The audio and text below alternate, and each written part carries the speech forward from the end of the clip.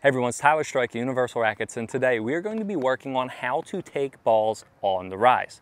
If you learn how to take balls on the rise, you'll be able to, number one, not hit high balls because you're not going to let the ball get up there. And number two, you're going to be able to take the ball earlier and put pressure on your opponent. So what is on the rise, okay? What is on the rise? Think, on the rise is when you hit the ball off the bounce. Before the ball bounces and gets up, instead of letting the ball get up, you're going to let it bounce and you're going to take it before it gets up high. Again, so you're going to take the ball before the ball gets up to your strike zone. You're not going to wait for the ball to come to you. You are going to go to the ball. And we will get into detail in what I just said further in this video. Once again, you are not going to let the ball come to you. You are going to go to the ball.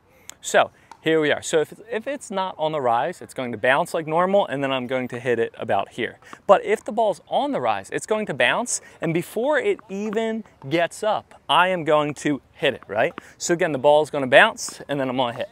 So instead of hitting up here, I'm going to hit much lower, okay?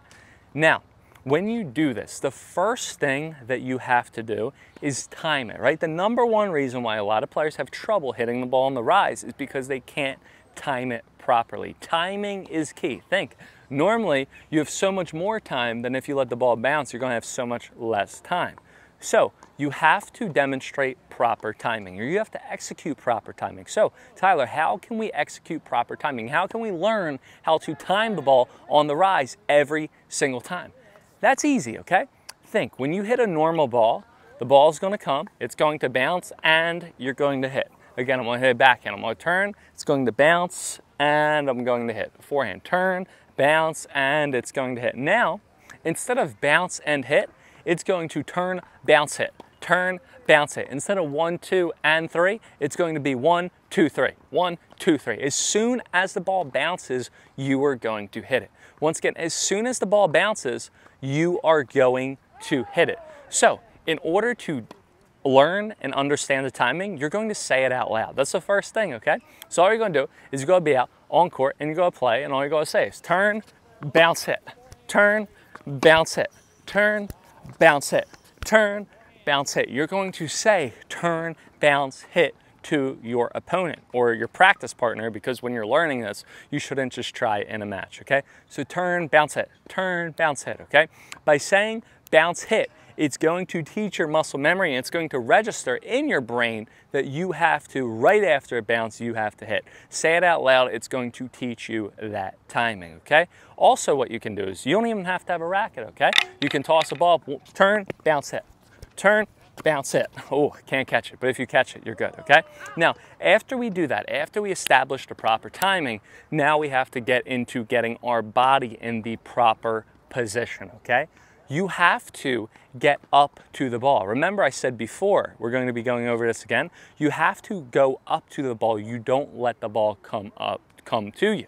So when the ball is up here, instead of letting the ball come to me, I need to move up to it. So the first thing you have to do after you understand the timing is you have to understand in order to get to the ball and hit it on the rise, you have to move up to the ball. You have to be impatient. You're not waiting for that ball. You are going to the ball, okay? So if I have a ball up here and it's on the rise, watch, instead of me waiting back here, if the ball's bouncing here, watch, I am moving up to it. I am not letting that ball go. If I have a backhand back here, right, and it's on the rise, right? I am moving up to that backhand. I am not letting the ball go okay? So you have to move up to the ball. Now, a great drill to learn how to move up to the ball and to get that on the rise um, swing is all you're going to do is you're to get a couple balls, you're to toss it up in the air, and you're going to run up to it. So here we are. I'm learning on the rise, right? Tossing up in the air. Here we are. Bounce it. Here we are. Let's go. Let's go. Turn. Bounce it. Ah, I got to get under it. Here we are. Turn. Bounce it. So just toss balls, and again, right after they bounce, run up to it and take it on the rise, okay? Take it on the hop, okay? Now, after you start getting going up to the ball, then once you move up to the ball, you need to make sure you keep your body down. Again, once you move up to the ball on the rise, then you have to, so then after you move up to the ball, you have to keep your body down. A lot of players, they go wrong on the rise. They have the proper timing, they're moving up to the ball, but then they hit and they swing and then they pop their body up, okay? If you pop your body up, where is the ball going to go, guys? The ball is going to go up. You need to make sure that you keep your body down when you hit on the rise, okay? You need to make sure you keep your body down and forward. So instead of moving up to the ball, right? I move up to the ball, I time it right, and I pop up with my body, I wanna make sure that my chest is facing forward. So for a forehand, you want it to look like this. You see, look, my head's down, my body's facing down and forward. It's not all the way down, it's not up. My chest, if there was a laser that came through it, you could roll a pencil right down, okay? Same thing for my backhand, right? So here we are, I'm going to turn, here we are, boom, I move up again, and I am keeping my body down and forward. You wanna make sure that you do that, okay? After we keep our body down and forward, you have to ensure that you follow through every single time, okay? So when I hit now, okay, I'm going to turn, I'm moving up. Look, I'm keeping my body down and forward, okay? Same thing for the backhand. Here we are. So I'm going to turn and I'm going to, again, keep my body down and forward. Hopefully I can get under it. Here we are. I'm going to turn. I'm going to keep my body down and forward, okay? Guys, I'm so sore. I played, I don't even know if I can say this on this channel, but I played a pickleball tournament yesterday. I got a gold medal. I've never moved. My hips are killing me. I've never moved so much side to side in my life. Pickleball, you'll get way more sore than playing tennis because you're doing so much side to side movement, okay? So again, you need to make sure, hopefully you'll hit it in unlike me, but you wanna turn, you wanna keep your body down, and then you wanna make sure that you fully follow through, okay? Now, the next thing I encourage every single person is when you're playing on the rise, you need to play with tons of topspin, okay? Think, on the rise, it's, it's more risky, right? There's more margin for error, or sorry, less margin for error, right? Timing, it's so precise.